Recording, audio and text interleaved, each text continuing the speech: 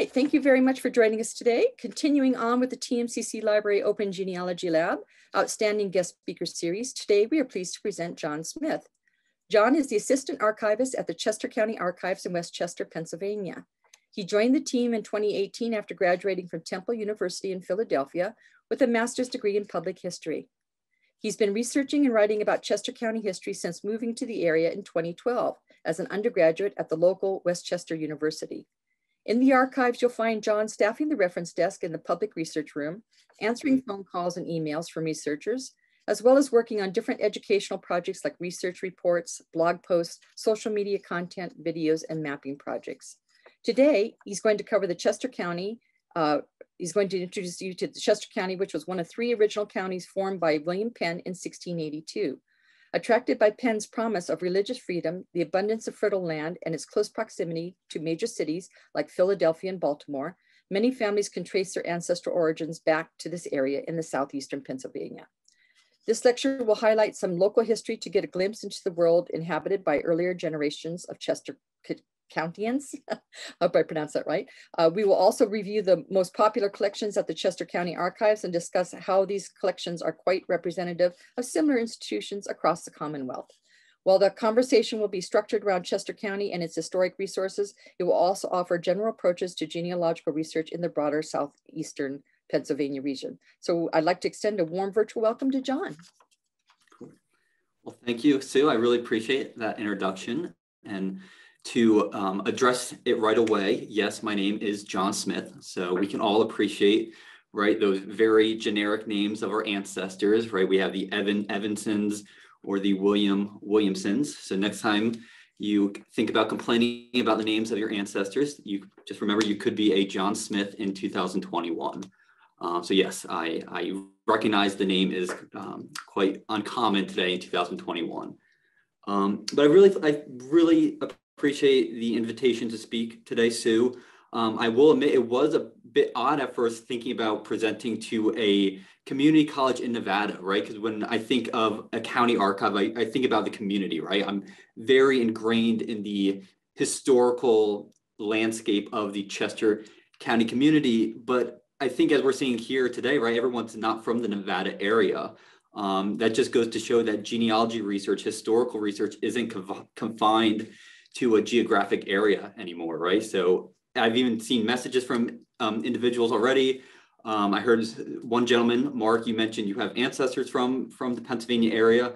So it's just like um, geography or geographic lines don't define communities anymore. So um, even though you might not be physically in Chester County, a lot of you could probably trace your ancestors back to this area. So I think it's really cool uh, to get this opportunity to speak with everyone today.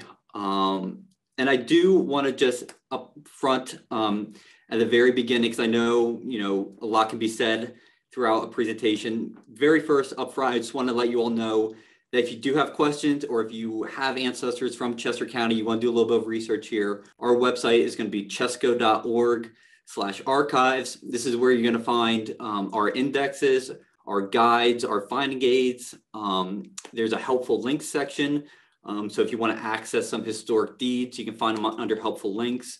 If you're looking for maps of the area, they'll be under there as well. Most importantly, our email address is going to be right there. So if you have any questions, you know, about local history, about something I've said, or I will say in this presentation, um, questions about uh, genealogy, feel free to send us an email and we'll be happy to help out. I should also preface at the very beginning of this, I am by no means um, an, a genealogist. Uh, there's going to be many, most of you, I would say the overwhelming majority of you in this room will have much more experience doing genealogical research than I do. So if you come um, email us, you know, a really big, uh, difficult genealogical question, we probably won't be able to be the ones to answer the, that question, but we have enough genealogical or genealogist researchers coming into our research room that we'll be able to point you in the right directions to, to see if, um, you know, we can find you the resources to use or if we can't help you find the resources, at least um, direct you to the, the professional genealogist in this area who, who's more familiar with researching uh, these topics. Um, if you're from Chester County, it might be, you know, it might be a little silly to see um, me include these maps, but I'm very uh, geographic oriented. I need to know, you know, where the, the place is that we're talking about. So for those of you who don't know, Chester County, we are in the very southeastern part of the state of Pennsylvania, right outside of the Philadelphia area. We're about 45 minutes west of Philadelphia. Um, so you'll see uh, where we are in comparison to the rest of the state, as well as what our um, county outline looks like today. And understanding Chester County's um, borders is really important uh, to doing genealogical research in this area. For example, Lancaster County, that was a part of Chester County until 1729.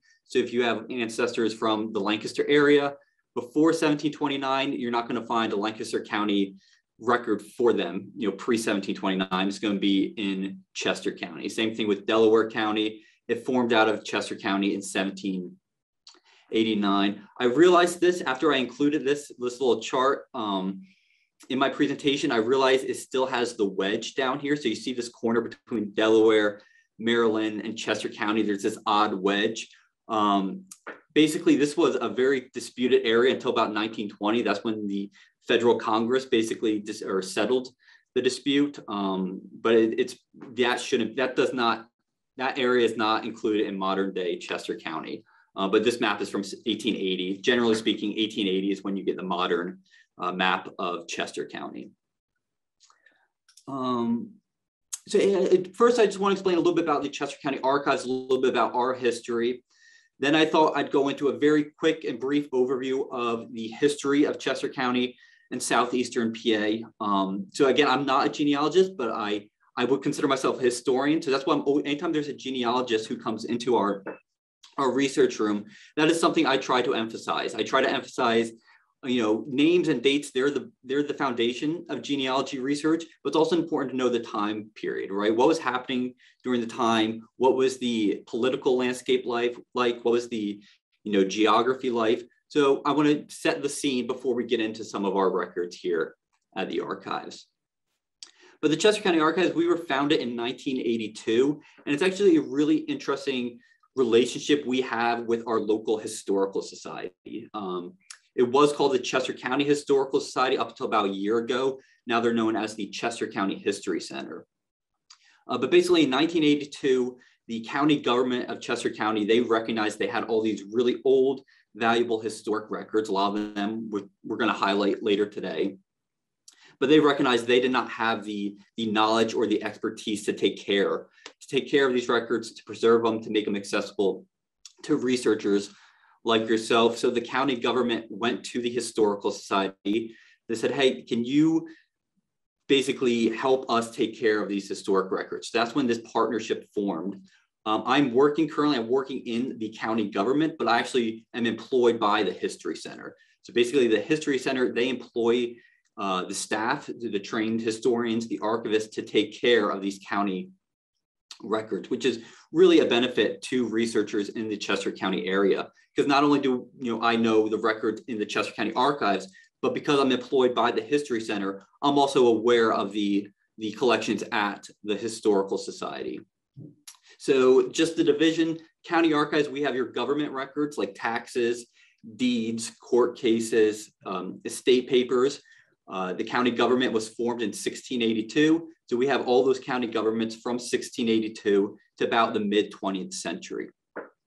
The History Center, they're going to have your uh, private collections, right? Your family papers, scrapbooks, letters, photographs, newspaper clippings, Bibles, church records things like that. So if you're doing any type of research in Chester County, um, like chances are you're going to be able to use both of these collections. And so if you come by the archives one day, we're probably going to suggest a collection for you to look at over at the History Center and vice versa. If you're at the History Center, they're going to recommend coming over to us. So this is really useful and interesting relationship we have here in Chester County. Um, but I don't, not only do we have the local history center, but we are within an hour drive of you know countless of other research institutions, right? So you have other county archives, um, you have other you know local historical societies within the townships here in Chester County. In Pennsylvania, we have a great state archives out in Harrisburg, and we also have the Pennsylvania, or excuse me, the Historical Society of Pennsylvania in Philadelphia. if you have Quaker ancestors, right, we're right down the street from the uh, Friends Historical Library at Swarthmore College, Presbyterian Historical Society in Philadelphia. Um, so this is a really good and convenient place to do any type of genealogy research because you're really not more than an hour drive from all these different research institutions. Um, so again, a lot of our families can be traced back to this area. And if you do, you know, wander down that rabbit hole and you, you kind of start exploring this area, uh, you're going to have a lot, of, you should have a lot of documentation um, not that far away. Um, so yeah, just again, a little bit about the, the history of the Southeastern Pennsylvania area, because I know, you know, it's obviously associated with William Penn and the Quakers, um, but I thought we could just discuss that a little bit more. Um, obviously, before any Europeans were in this area, this was um, the area settled by the, the Lenape people, the indigenous group called the Lenape. Uh, they were here for thousands of years. Some people said they were here for 10,000 years before the first Europeans ever settled here. Um, the first Europeans who came here uh, were not the English, actually, it, were, it was the Swedes, right? They part of the New Sweden colony.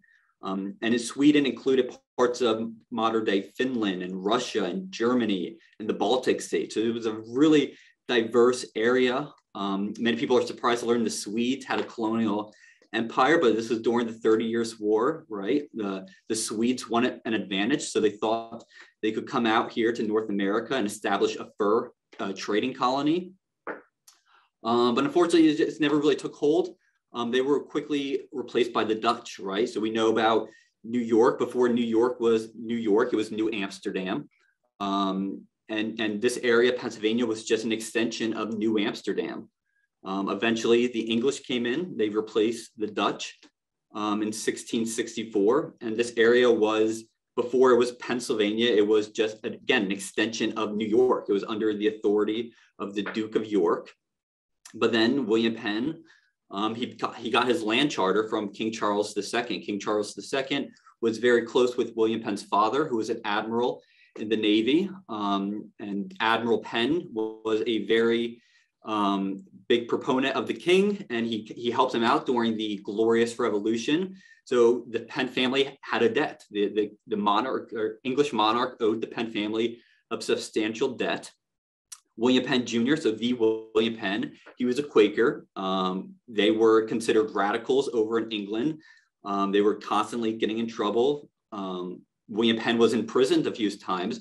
So King of England, he thought, well, I owe this guy a bunch of money. I owe him a debt. Um, he's a leader of this radical group. Why would give him land over in North America? That's how Pennsylvania. What he did was he divided it into three counties. You're gonna have Bucks County, Philadelphia County, and Chester County. Um, so in 1682, that is when um, Chester County, the government formed. So again, Chester County, this area has a very long and diverse history. But when we talk about the county of Chester, that's an English government. Our history starts in 1682.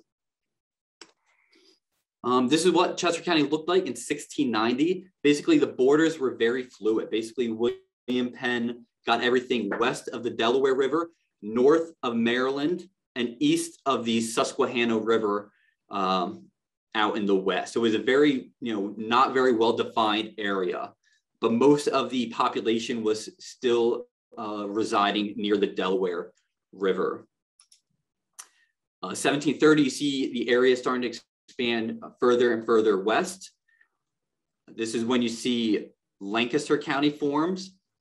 You see down here, there's that famous land dispute between the Penn family and uh, the Calvert family in Maryland, them being uh, Catholics, Penn being a Quaker. There was this land dispute um, that wasn't solved until 1760 with the Mason-Dixon line, right? Um, so you see these things called the Nottingham lots. Basically, William Penn was giving these huge land grants down in this area to get Quakers to settle and move in to replace the Catholic families. Um, so that's another important thing, right? If you're doing any type of research and you know your family was located in this southern part of Chester County, it's going to be really worthwhile also checking Cecil County, Maryland, which is this Maryland down here uh, or this county down there in Maryland, um, because it was this very fluid border. Some people were filing their paperwork in the Chester County area, others were filing it in the Maryland area. Um, 1790, um, the, the population of Chester County expanded so far to the north and west, we basically moved our county seat, which was historically in the city of Chester. We moved it to where we are today in West Chester. But the folks down in Delaware County, they weren't happy with that. So they split off and formed their own county. So again, maybe people have um, family from the Chester area. It's really frustrating explaining to them Chester, the city of Chester was once in Chester County, but today is in Delaware County, which is in Pennsylvania, not the state of Delaware. It's a very confusing naming system. Um, I have to explain that about once a week, um, but um, it's just part of the history. So just being aware of the borders, the changing names or the changing borders um, will really help in any type of research. And this is a map, you just see the type of people coming to this area, right? The main part of the county um, are going to be English Quakers. They were attracted uh, by the idea of you know this religious freedom offered by William Penn uh, and this really fertile land, like we said in the introduction.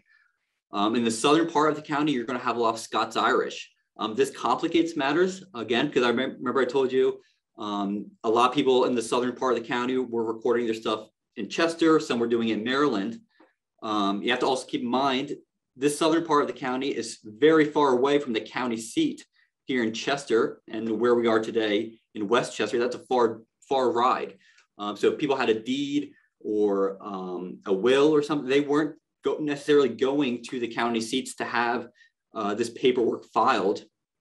So distance is another contributing factor, but also culture, right? The, the Scots Irish, they were traditionally very uneasy with government. They didn't like having uh, the county government involved with their land transactions or their settling of their uh, deceased loved ones affairs. So generally they weren't recording that information. So if, again, if you're doing um, any type of research in the southern part of the county, um, you're going to hit frustrations just because again, geography, distance, um, the politics of the border and culture.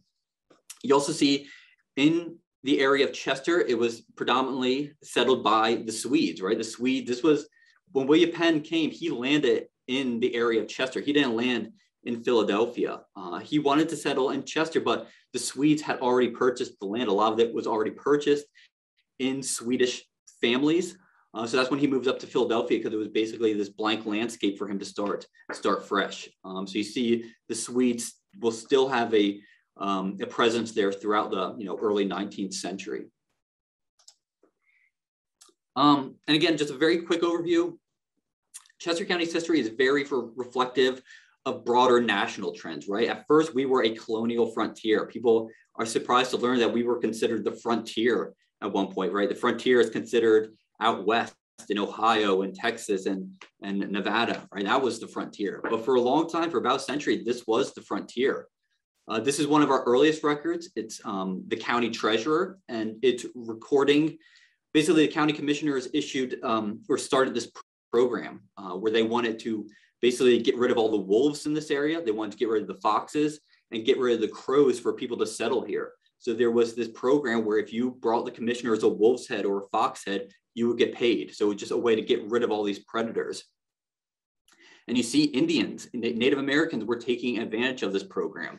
Uh, so this is one of the few records we have where you see indigenous people mentioned in the records. Because again, we are an English government and we preserve records from the county government. So we're not gonna have many records from the, the Lenape people, uh, but this is one of the few records where you do see uh, Native Americans mentioned and taking, taking advantage of this program uh, to clear the areas of uh, the predators.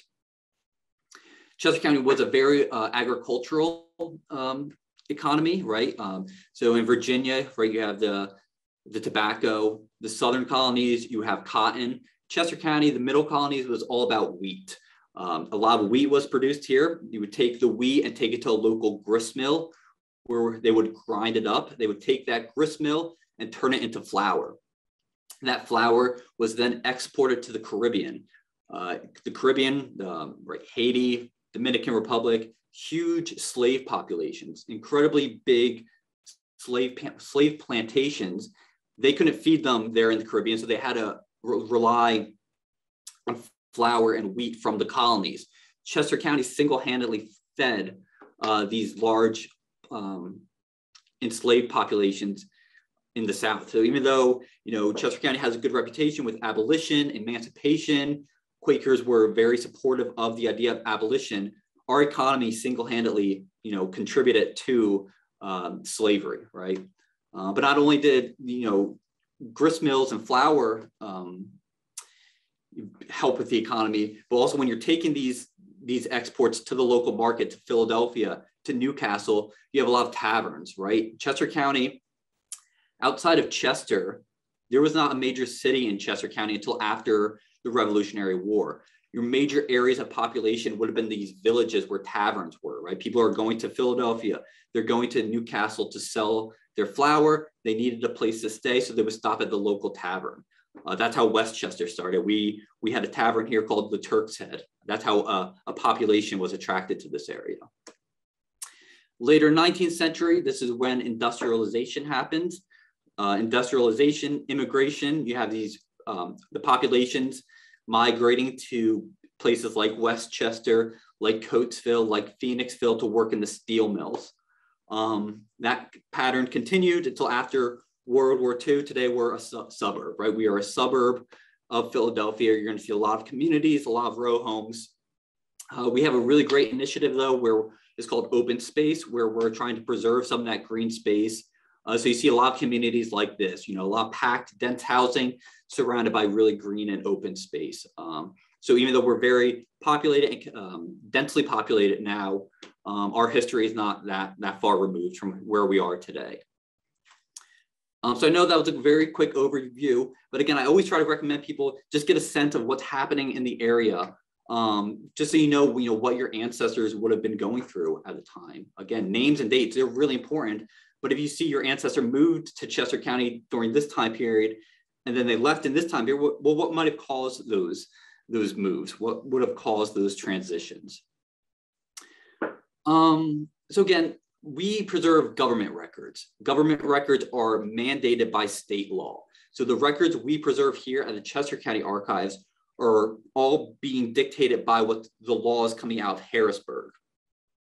So regardless of whether you're researching in Chester County or Lancaster or Philadelphia or Cumberland County, every county should have pretty similar type records, right? They might not be in a county archive, they might still be with the individual department, but you should be able to find similar records no matter where you're researching in Pennsylvania.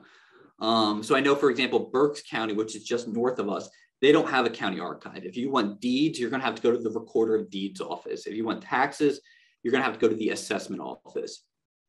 Um, fortunately, Berks County is pretty good. They have a lot of indexes available. Um, but again, it's just this idea if, if you find it here in Chester County, you should be able to find it somewhere in other counties. Uh, but that's talking about, again, government records.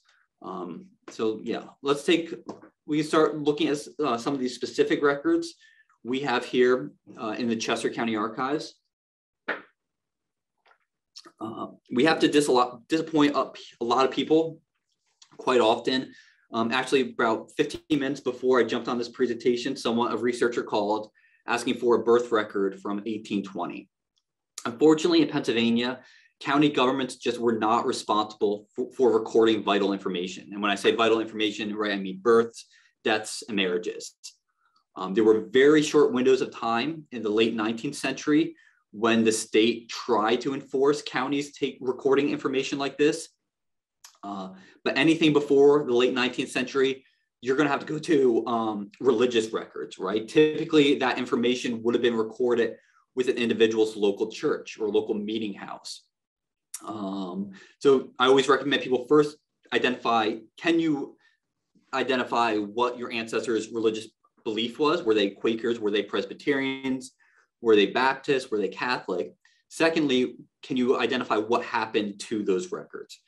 Um, again, luckily, Quaker records, we know they're with the Friends Historical Library. Presbyterians, we know there's the Presbyterian Historical Society in Philadelphia. Baptists, Baptists were notoriously bad record keepers, so it's hard to keep track of Baptist church records.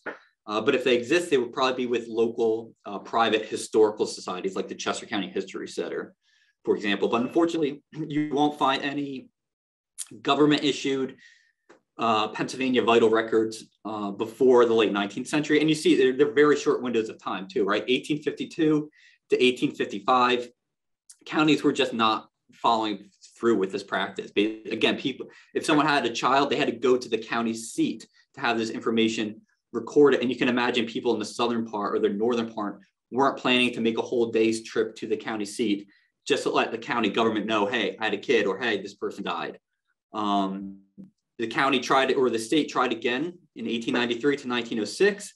This one's a little bit more thorough, um, but again, it's just not complete. So a lot of people come to me, they say, hey, I know my ancestor was born 1898. There should be a record of him in your birth um, index or your death index. And it's just, it, it wasn't complete. This doesn't record every single birth or every single death. Um, so in 1906, that's when you see the state government takes over. Uh, so now if anyone wants a birth record or death record after 1906, we have to direct them to the Pennsylvania state government. uh, but luckily there's you know quite a few alternatives. Um, right, you have your, those religious records, tax records are great in Pennsylvania. We know um, only men older than 21 pay taxes. Uh, so if you can identify the first year your male ancestor paid a tax, then you can subtract about 21 years and you can get a rough estimate of their birth year. Um, marriage records are pretty unique. Again, it has that short window of time in the late 19th century. Um, starting in 1885, though, that's when the county government started recording this information for legal purposes, and they did a pretty, pretty accurate job.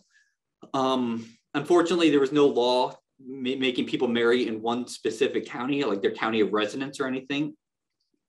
So people think uh, their ancestors might have been married in Chester County, but they don't find a record here, we recommend them going, trying a few neighboring counties, um, especially Cecil County, Maryland, because you'll find in New Jersey, Delaware, and Pennsylvania, if um, a couple was younger than 21 years old, their parents had to give consent to the marriage. Uh, in Maryland, there was no, or you had, you only had to be 16 years old to get uh, married. There was no uh, parental consent. So if you had these 18 year olds who wanted to get married without their parents' consent, they would go to Cecil County, Maryland to get married. Uh, you see that quite a bit. Um, it's almost like the Las Vegas in the East. Uh, people just going, young people going to Maryland, Cecil County, Maryland to get married. Uh, with our marriage records, um, they're not marriage certificates. That's what we have to keep telling people. They are marriage applications and returns. Basically, a couple would receive their marriage certificate and we, the county, would hang on to the application. Uh, anytime a couple was married, they were supposed to have a return sent back to the county. So if we have a return, we know a marriage went through. If we only have an application, there's no you know legal way we can prove um, the, the couple was married. Married. Um, but if you're just doing genealogy, genealogical research, the application is going to have a really, you know, a lot of useful information. Um, and here's here's you know a typical example of those birth and death registers. Again, remember 1893 to 1906, and they're not death records or birth records or certificates, I should say. They're just registers. So you're going to have one name on a page with you know about 20 other individuals. We have all these um, records indexed on our website, which you can go to right now. And most of this information is going to be included, included in the index. Um, I think like occupation of father is one of the categories we didn't index. Um, so it's always beneficial to view the original source, obviously, uh, but a lot of the information was carried over into our indexes. Naturalization papers, um, a lot, naturalization was a federal process, so there's going to be no surprises here. Um, the type of naturalization papers we have, earliest ones starting in 1798, going through about 1989. Um, unfortunately, naturalization didn't just occur in county courts, they also went to state courts and federal courts. So even though someone might have lived in Chester County, does not necessarily mean they were naturalized in Chester County. Uh, these, these graphs kind of just show naturalization, naturalization trends throughout the county's history. Uh, early 19th century, predominantly Irish coming over here. Then you see um, later, it's the Italians, the, the Hungarians. Uh, and today we have a really big uh, Southeastern Asian presence um, in the county. Uh, so it's just interesting to see the different um, origins or nationalities of people coming over here to Chester County, clearly changing over the years. Tax records, uh, again, this is no surprise, but we're really, we, we think our tax records are pretty unique because uh, of how expansive they are. Our earliest tax records start in 1715 and they grow through 1939. Um, and I would say probably about 95% of our 18th century taxes have been indexed. Um, so that's where if you have any ancestor who, who lived in this area for even a short amount of time, we might not have a will, we might not have a deed, we might not have any court papers for them, but we should at least have the tax records. Uh, tax records are great because they're almost like an annual census for taxable individuals. Like, so again, if you know you had an ancestor in this area, it's worth poking around the tax records to see, okay, what township were they in? Then if you can identify a township they were in, then it might be worthwhile uh, looking at their neighbors, right? Were their neighbors filing wills? Were they recording deeds? Because then your ancestor might be a witness to a deed, or they might be, you know, an administrator to um, an estate. Um, our 19th century taxes, we have a bunch indexed as well. Um, not every single one, but uh, we, we kind of, we try to space them out. Uh, so, you know, if you see an ancestor in Chester County in 1820, but not 1824, then you can start looking at those individual years uh, to see when they might have moved. Um, and I have a few examples on this next slide. Um, you see 1715 taxes, they're going to be your tax rates. Unfortunately, we don't have any tax assessments before 1765. So all of our tax records from 1715 to 1765 are just going to be a list of names and the rates of uh, their tax rate, so what they paid in, in taxes. Still really useful because again, we know if they're paying taxes, they're going to be at least 21 years old. Um, your county assessments, that's what you see in the center there that's when you're going to see uh, a detailed description of their property. You're also going to see, um, you know, their occupations. If they weren't a, a, farmer or if they weren't a yeoman, if they had a trade, they're going to pay a tax on that trade. Because even though we think of the uh, the income tax as a, 20th century phenomenon, uh, Pennsylvanians were paying a tax on their on their trade, on their occupation um, in the early 1700s. Um, and also, if, if they if they were a single man, so if they weren't married, they were paying a tax. So people could have been taxed as much as three times, right? One for their property, uh, once for their occupation, and once you know if they were single. Uh, 20th century taxes, they're probably the most uh, the, the least detailed, I should say.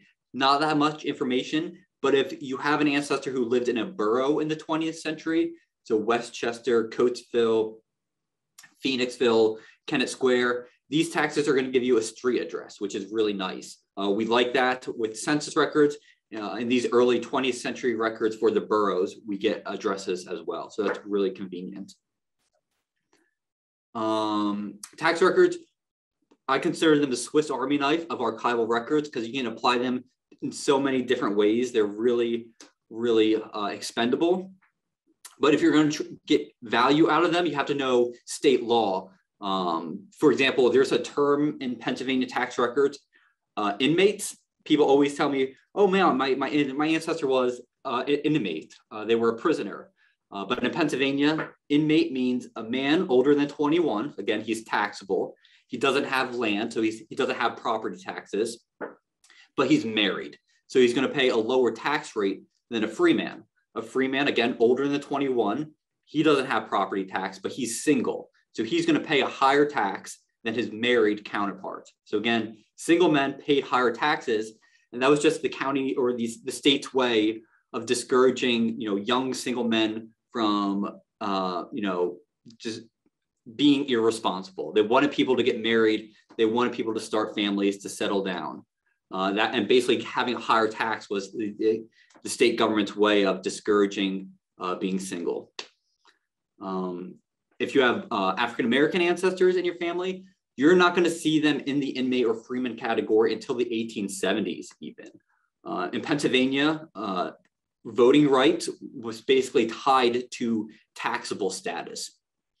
So they didn't want, if you paid, if I as a white man paid a head tax as an inmate or a free man, I was considered taxable, right? Pennsylvanians, they didn't want uh, black men to get the right to vote. So they kept them out of these categories uh, to say they're not taxable, therefore they can't vote.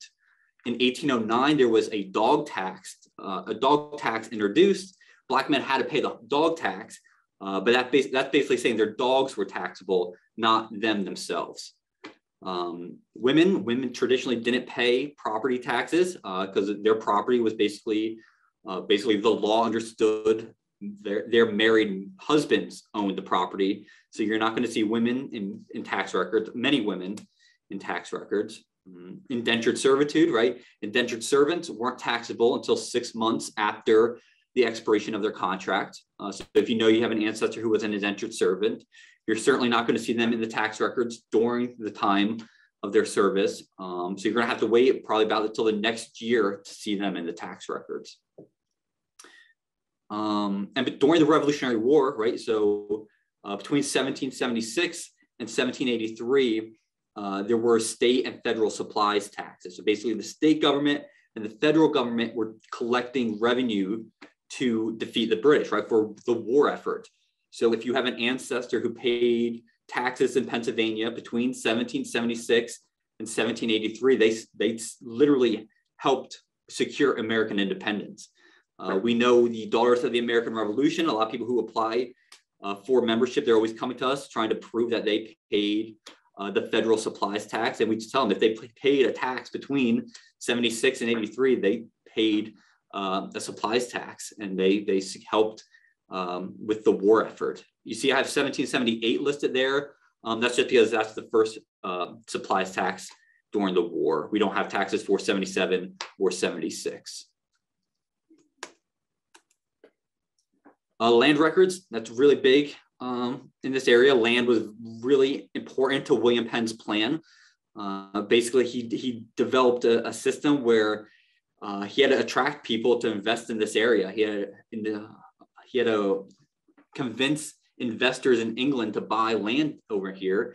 So what he was doing, he was saying, if you buy 10 acres in Philadelphia, I'll give you a warrant. I think it was for 500 acres out in Chester County. So people were buying um, these plots in Philadelphia and sitting on these huge tracts of land out in Chester County. Uh, so understanding land records in this area is really important to understanding the history.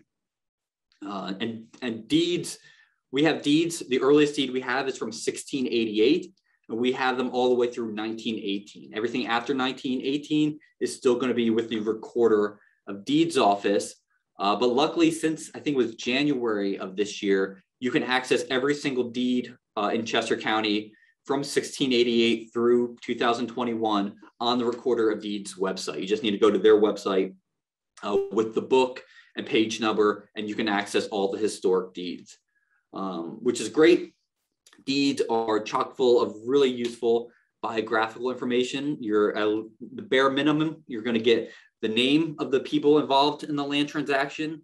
You're going to, typically going to get where they're from, and you're going to get their occupation, which are just really big clues when you're doing genealogical research. Mm-hmm. And again, that's pretty standard for all counties in this area. Um, deeds are the backbone for, again, land is really important in this area. Uh, so whether they're with the county archives or still with the county departments, um, that's going to vary state or county by county, uh, but they're very um, visible in this area. Um, some people come to us asking for um, that supposedly their their ancestor received an original William Penn land grant, and that's an interesting statement because basically every, all land settled in Pennsylvania before 1776 was a Penn grant.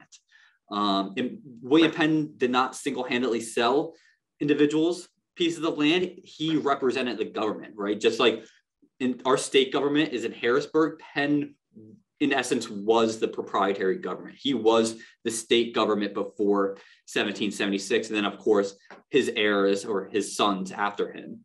Uh, so people say they have a Penn grant. It's, it's cool, but it doesn't come directly from William Penn himself. And you see the land process uh, down there at the bottom. Someone first had to apply for a warrant. They received the warrant. Then someone went out there and surveyed the land. That's a survey you see on the screen there. Once it was surveyed, that's when you got the patent. Patent and grant are essentially one and the same things.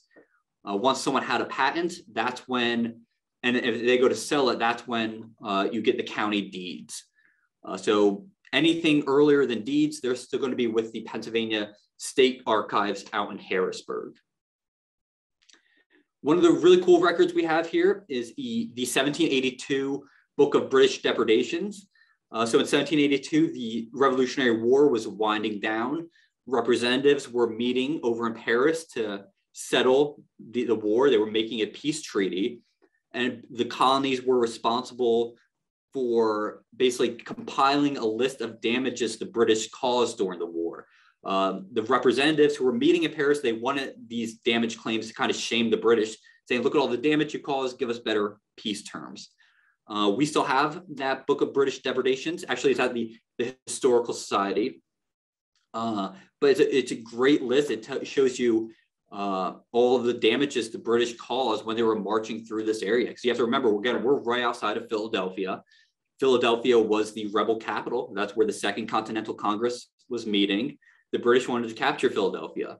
Uh, and as they were marching to capture Philadelphia, where were they marching? They were marching right here in Chester County. Um, so the, the Revolutionary War was a really uh, impactful event in this area. It, it, it's really important in this the national or the the memory in this local area.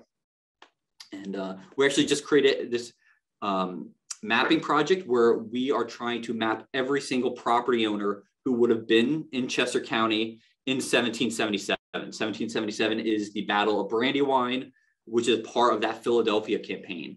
And we are trying to map every property owner who would have been here to witness that devastation. Um, I, when I, we go to our website, I will show you that, uh, which is just won the National Genealogical Society Award. Um, we were one of three awards, so we're really proud of that. Uh, but again, it's such an important part of this county's history. Um, it shows uh, it, it's good to have. It's a great resource for understanding this area's history. Of course, you know, genealogists love probate records, right? We love wills, administration bonds, orphan orphans court proceedings. Uh, our earliest will in Chester County is from 1714. Uh, again, the county government we formed in 1682. So any will uh, written in Chester County between 1682 to 1714 is going to be with the Philadelphia City Archives. Um, before 1714, all wills were being filed in Philadelphia, and that's where they remain to this day. Uh, and 1714 is certainly not a hard year. You still see wills in Chester County being filed in Philadelphia, even up to the Revolutionary War. So if you know you have an ancestor in this area who filed a will, but you can't find it in our indexes, it's certainly worth your time going over and checking out the Philadelphia City Archives because you see a lot of people, um, a lot of Chester County residents living in Chester County, they were still filing their wills um, with the Philadelphia or with the government in Philadelphia. Um, will abstracts, I'm sure most of you are very familiar with them. Luckily in Chester County, we have will abstracts for our earliest will in 1714 all the way through 1855. That's about three quarters of all the wills in our collections have been indexed, uh, or excuse me, abstracted. All of our wills have been indexed. So again, if you know you have a an ancestor in Chester County, uh, you can use our index to look them up to find that will number. Um, Orphans Court, I'm not sure if other states have Orphans Court, but Orphans Court has that weird uh, name. Orphans, we assume parentless, but traditionally that term orphan has just meant fatherless. Uh, Orphans Court traditionally has just been an extension or a continuation of the probate process. Uh, so someone died, they wrote a will, that will is there to settle the estate. Orphans Court proceedings are just an extension of that estate settlement. Uh, it's a real gold mine for genealogists because you're going to get the names of most children. You're going to get a lot of um, information about the land if they had land. Um, it's really an underutilized resource. I think one, because the name is a little confusing and a lot of the files are very thick. You're going to have really thick orphans court proceedings and it's a bunch of legal language. Uh, so I think that's a little intimidating for some people, but if you just spend a little bit of time reading the orphans court proceedings, um, I think you're going to be rewarded because there's a lot of really good genealogical clues in orphans court proceedings. Um, and then also minors estate. So if someone died with children who they left, you know, property to, uh, but they were under 21, well, then they had to file for a petition to have a guardian appointed to them. Because again, 21 was the, the legal age in Pennsylvania. So you didn't pay taxes before the age of 21. You didn't inherit property before the age of 21. Uh, everyone younger than 21 had to have a guardian appointed if they were going to um, collect something from an estate. And these minors estate, they're useful because again, you get the name of the individual, you're going to get their age as well. Um, so really great resource there. Uh, but it's all it's really important to know that you know a lot overwhelming majority of families didn't have wills, right? We, to have a will or an estate settlement meant you had to have some type of value or wealth or property to necessitate a court proceeding, right? Most people would have died, they wouldn't have had much. So there would have been no reason to have, you know, a really rigorous legal process. Uh, but that's luckily we have a lot of, you know, records documenting the lives of poor individuals, right? Paupers. Um, 1798 is a really important year. 1798, there was a state law passed which um, established the Chester County Poorhouse and the Lancaster County Poorhouse. Most counties around this area will also have poorhouses, but they were established later on.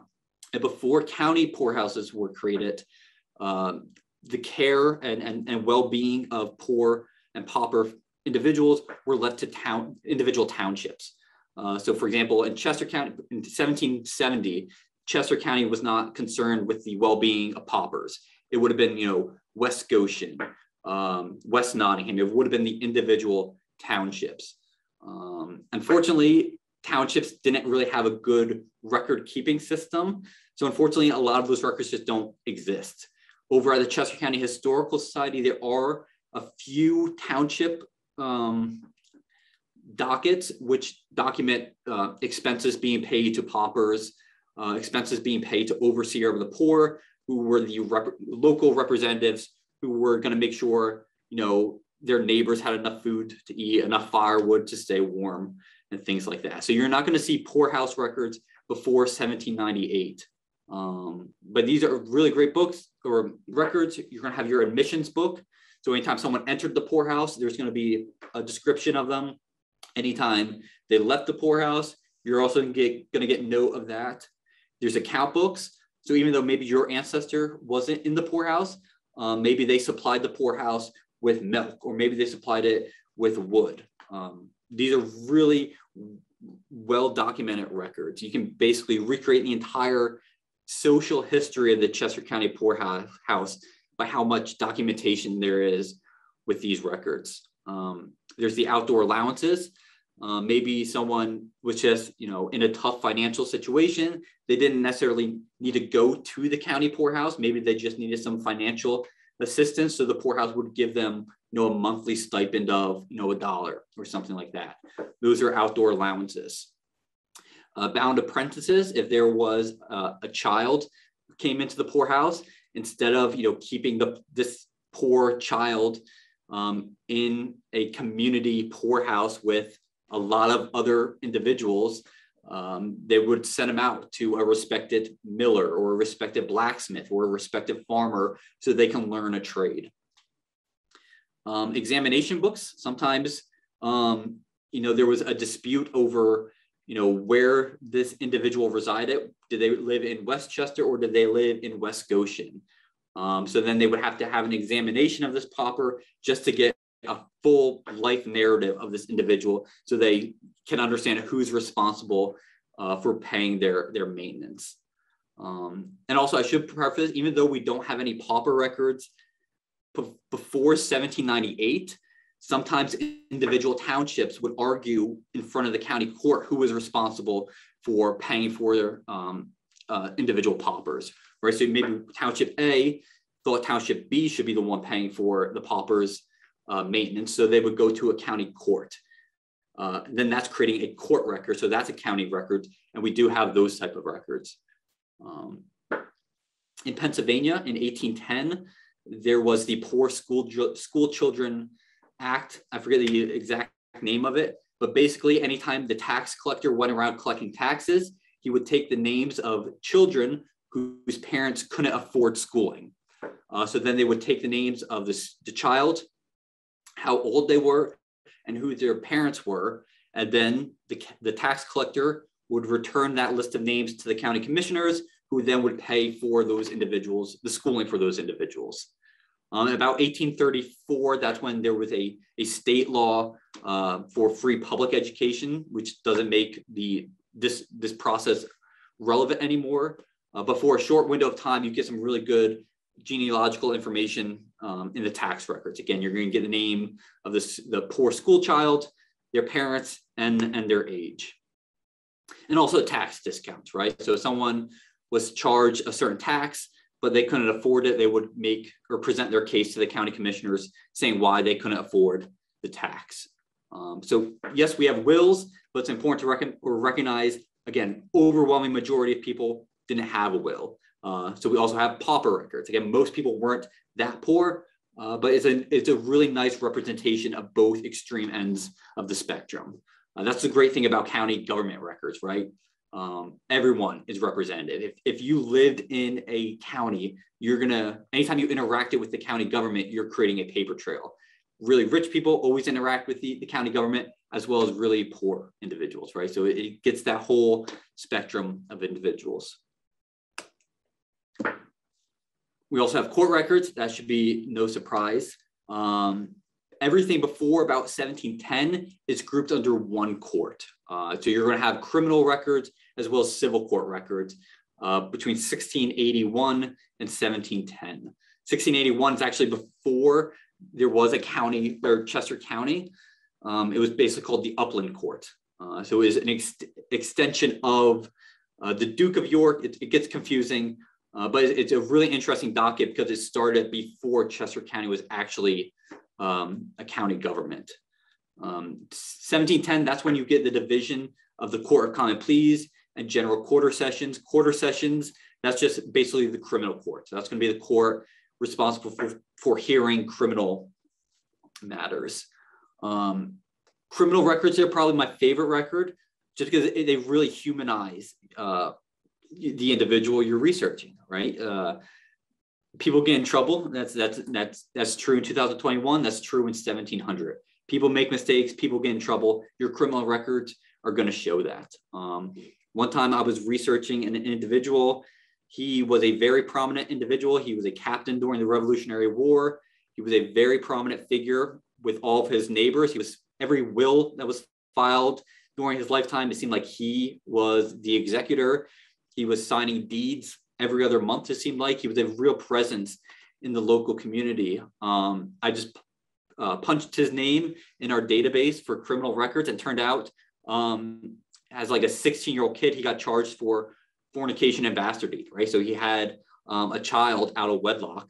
Um, so it's just interesting to see, okay, he was such a young kid. Did this have like a really impact or a big impact on his life that he kind of turned it around and then he became a leading presence in his local community. So um, I just, I, again, I think they just humanize the, the human experience. So um, we all have those what skeletons in the closet, uh, but again, how how bad is an assault? Like people always get in trouble, so it's always worth uh, poking around the criminal records.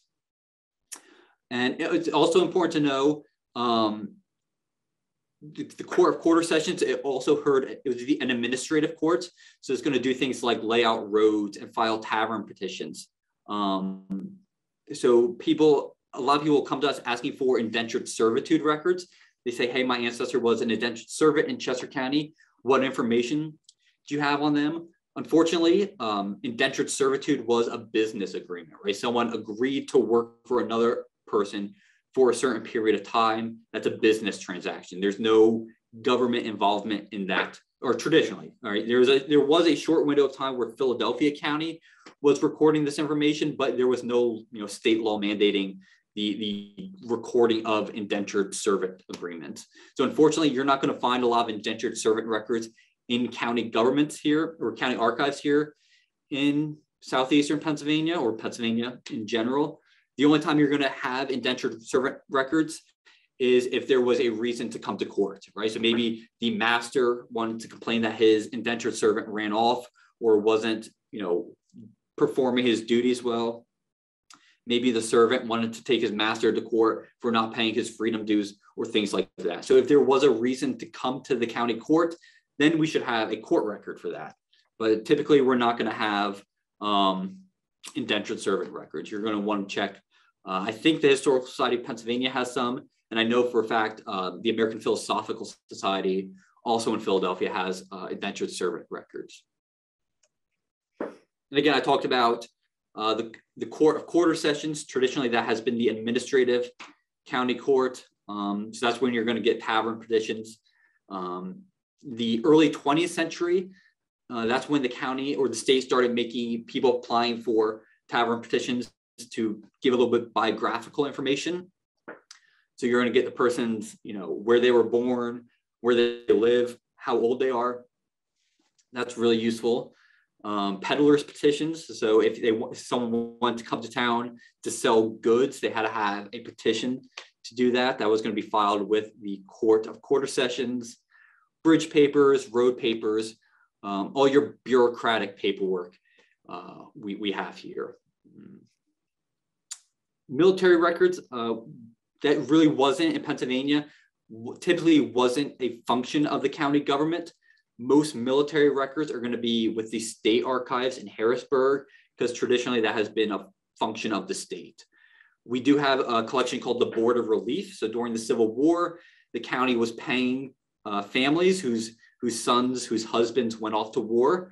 These families could apply for you know financial assistance. They're saying, hey, our son, our, our husband, our father, they're all fighting. We can't you know work the field. We can't make the consistent income that we were. We need help. So the county would, would help them with some financial assistance. Uh, that was known as the Board of Relief. So that's a, somewhat a military record, right? Because you're going to get information about um, the male, the male's military service. You're going to get what company they were in, um, their, their regiment, things like that. And then we also have Revolutionary War pensions. Um, so there was a national or a federal law to issue Revolutionary War pensions, and those had to be filed with the local county government. So they, people in Chester County were coming to county courts to apply for Revolutionary War pension records. Um, I know that was a lot to cover in a very short period of time. Probably wasn't the most, uh, you know, clearly communicated presentation. But again, I just want to emphasize the fact that to visit our website, our um, our email address is going to be listed there. Um, again, this is where you're going to find our, our records and our indexes. So if you go to our website and you know your ancestor lived in Chester County during the Revolutionary War, you can go to the guides, go to those tax records. We know we want the 18th century tax records, for example. Let's say their last name is Graves. I was just researching a Graves. So you just, you know, follow the, the index that you want access to. And then we create PDFs. I know some some archives you, you punch in the name. Um, that gets anytime they update the website, that those systems have to be updated too. So we what we do here at Chester County, we create PDFs. Um, so you can just search through them uh, physically. So again, if I'm looking for someone with last names Graves, what I can do is just do a control F. Um, so here are people with the last name Graves. You see the year. And then if you want copies of these, what we always recommend is people doing is coming up with a list and then just giving us that reference information, that book number or that book, that page number, so we can um, you know, give them costs um, and instructions for getting, getting copies. I will tell you, um, just like COVID has changed everyone's lives, right? Um, now these genealogy lectures are all online. That, that seems to be a net positive.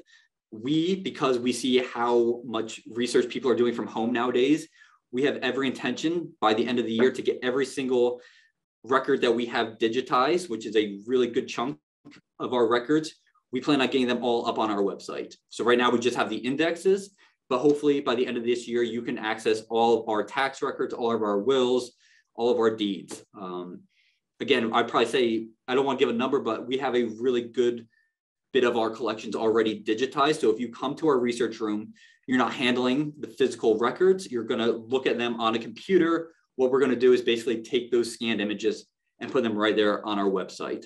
Um, so we, again, we hope to have that by the end of the year. Um, not only do you have the indexes, um, you're also going to have, again, the helpful links, useful maps there. There's going to be a link to the Recorder of Deeds website to get the access to the deeds, again, every single one from 1688 through 2021. Regularly, we're posting videos, we're making YouTube videos, we're writing blog posts, we're doing a lot of mapping. We are very big on GIS mapping in this department. Again, I think that's an extension of land being so important here. So we have a lot of cool mapping projects. One of them being this 1777 property atlas that we created. Um, so if you know you have an ancestor who lived in Chester County during the 1770s, I recommend checking this out. You'll see that not every township has been um, researched yet. And that's just because there's only two of us working on it right now, but we have every intention of doing the entire county. Um, so you just see, a, you can get a list of the individuals. So remember I was looking for that individual graves. So what we can do is we can open the table here at the bottom, go to the owners, sort by the name, and then just look for the individual. If it's your ancestor, a research subject. Um, oh yeah. So for this to work, it's basically reading whatever it's on the screen right now. So I just have to be zoomed out so all the, the municipalities are showing. Um, but yeah, then you just click on the individual and it'll take you right in. So you know, again, if you know you have ancestors in this area, you can basically know exactly where they were living. If you ever come to Chester County, uh, you can maybe go out there and check it out. So um, definitely go on over and check out our website. Um, our emails there if you have any questions. So I know that was a lot. Um, happy to answer any questions anyone might have.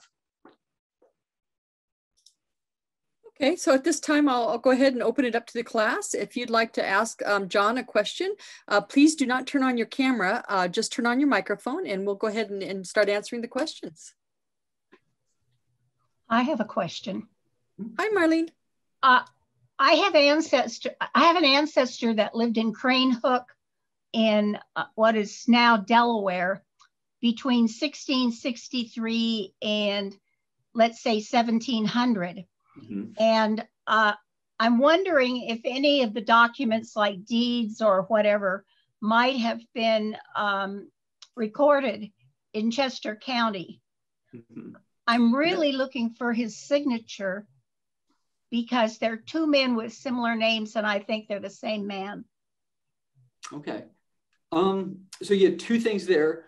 Um, so 1660s, you said that's before um, it was an English colony, right? So at that point, it's still a Dutch colony. So anything before English colonization is going to be, I think it's with the New York Public Library, um, or still going to be with the country of origin, right? So maybe the Netherlands.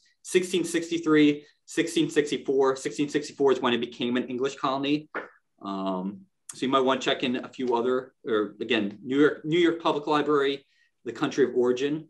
Uh, basically, county governments, they're only going to start when they were formed. So again, Chester County formed in 1681. Um, so we're not going to have any, or excuse me, 1682, we're not going to have any records before that time period. Um, even though your ancestor lived in what is today Delaware County, at the time they would have filed those papers with Chester County. So we will have those records. Um, so I'm not sure if you looked for him in our indexes, um, but again, if he had wills, if he had deeds, if he went to court, um, because he was interacting with Chester County, uh, there should be some paper trail of him uh, within our records.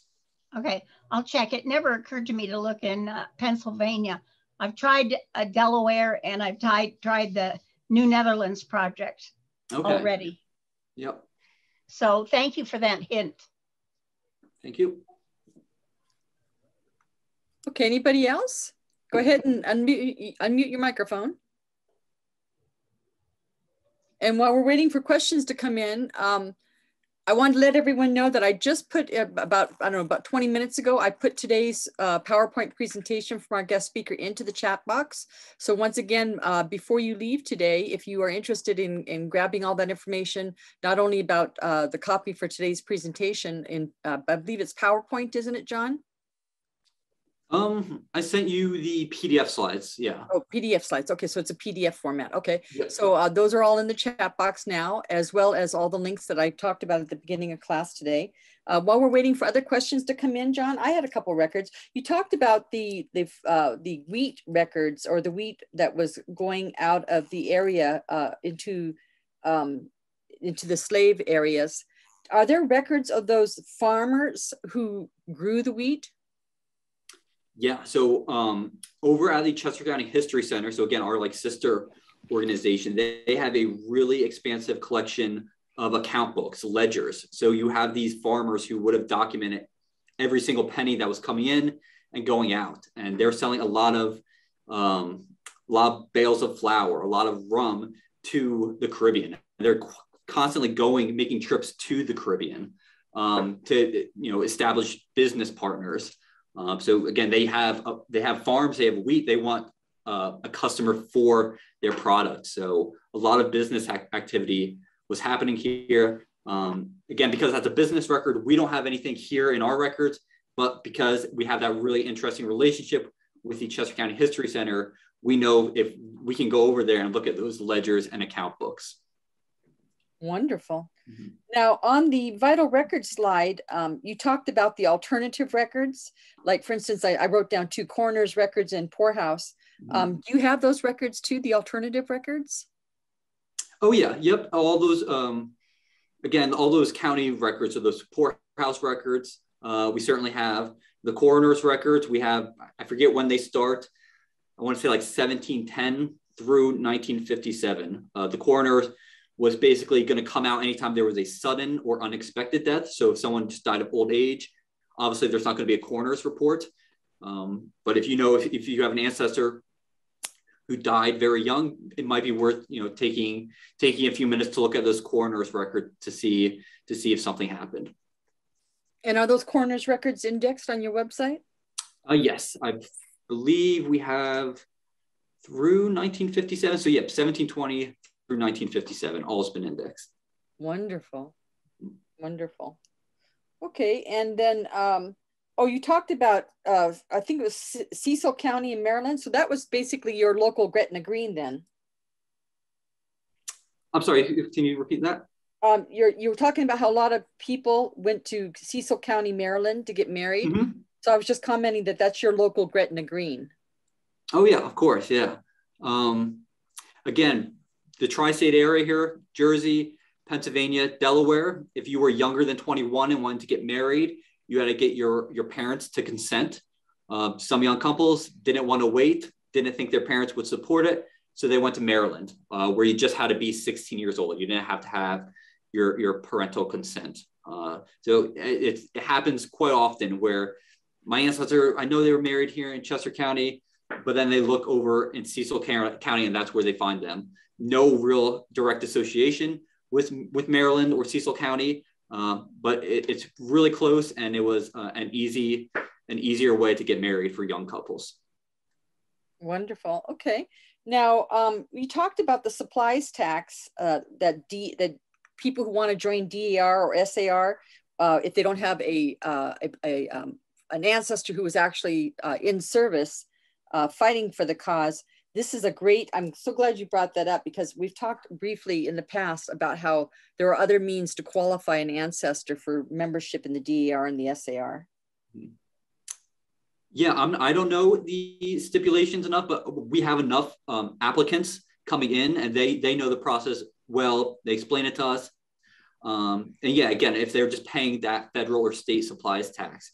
So literally your, your ancestor could have paid a tax in 17 a head tax in 1778 right Maybe they didn't own a single acre of land, but because they were older than 21, they paid a head tax. So that's some form of support for the war. So, um, yeah. Okay, great. Okay. Um, let's see here. Now, my next question was, how do you get to the page number for the deeds when you uh, contact the land records office? Because you said you needed the page number. Yep. So for, let's say you want, you know, a deed from 1800, um, first you're going to need the reference information. So you're going to need the book and you're going to need the page number. Now there's two ways to get it. Um, I'll go back to that slide real quick. Let's see.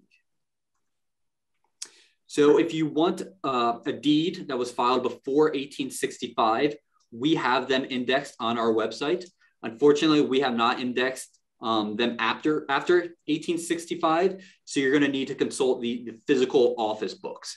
Luckily, they've been digitized and they're available on uh, Family Search. Family Search, you just need a free account. Uh, so sign up for Family Search, search for Chester County uh, Recorder of Deed books, and you'll find them. Um, that's basically everything. 1688 through 1918. It's a little clunky to use, uh, but if you're looking for a deed from you know 1880, let's say this is a really good option. Or of course, if you're coming down to visit us, you can access the deed book or the indexes in our research room. But let's say again, you want that deed from 1800. Just go to our website and our records section. It's going to be under land records, deed books. And again, same system. You're just going to look for the last name of the individual you're looking for. Let's let's um let's take this one for example. We want deed book A5, page 88. 8588. And on that same page where you access the, the indexes, if you go to accessing deeds, there's going to be a link to the Recorder of Deeds website. You want the IQS search. If you just read this, it'll, it'll give you a description of that. So I'm just going to fly through it right now. Just open up that IQS search and you're going to sign in as, as a guest. And then you're going to type in A5 I forget the page number, but we'll just do something random. You'll notice these, these are really good for research purposes, right? You're gonna be able to access them. The quality, not the greatest, right? Because what they're doing is they're just digitizing old microfilm. Um, if you want, you know, higher resolution scans of the deed, you can come to us. Um, and again, we'll give you a quote for, for copies. But again, we have every intention of getting all of our digitized materials up on our website by the end of the year, um, which we have our deed book scanned. So by the end of the year, hopefully you'll be able to get you know better quality scans than this. But for research purposes, they're great. You're going to get all the information right there. Could you do that one more time? Go through that process. Yeah, sure thing. So again, let's say um, you're on our website. You're going to access the records, guides, and indexes. Deeds are going to be under land records. Again, go to the deeds. When you open up this page is automatically going to open up to the indexes. This is how you're going to find the reference information. So again, maybe you're starting off blank. You just want to look to see if your ancestor owned any land in Chester County. You're first going to want to access the indexes. Once you have the book and page number, go to accessing deeds you're going to access uh, this link at the bottom here. You can also access um, deed books on Family Search. Family Search, a little clunky, um, but you can access them there as well. But we're just doing the recorder of deeds. Let's open that up. IQS. No need to make an account. We're just going to do it as a guest. And this is where you're going to plug in your number. Um, a lot of times what you're going to see is you're going to see a deed book reference like H-6 or something like that.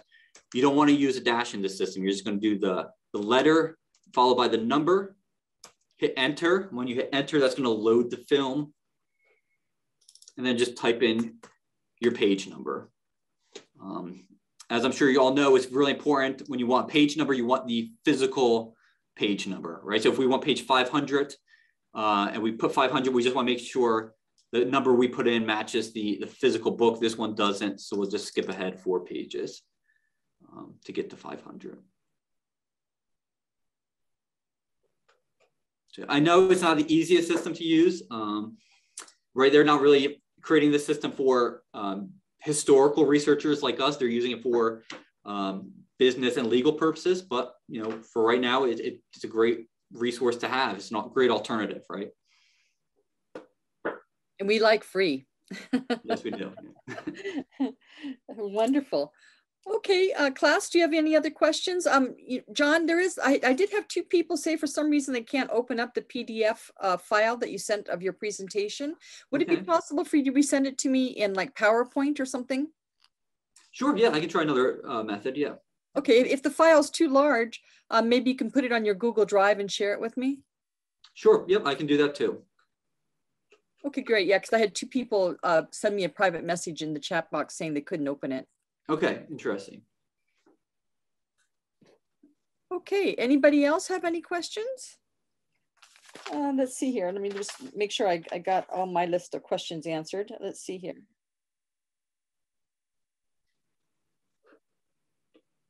All right, just wanted to remind everybody if you want to download that chat box or if you can't figure out how to download it, you just click on those three little dots in the chat box.